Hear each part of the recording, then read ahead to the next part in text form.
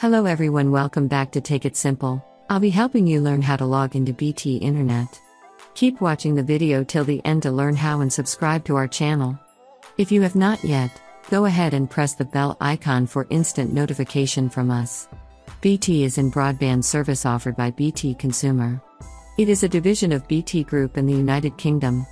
BT Plus broadband benefits include fast speeds, unlimited data, and so on. If you want to log into BT Internet, go open your web browser.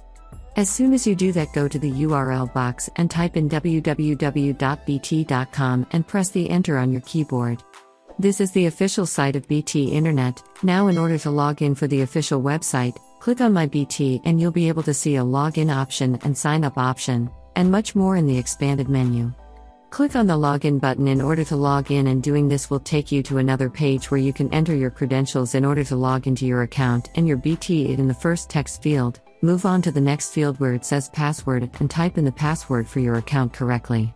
If you want to double check your password, then click on the show button, which will reveal your password.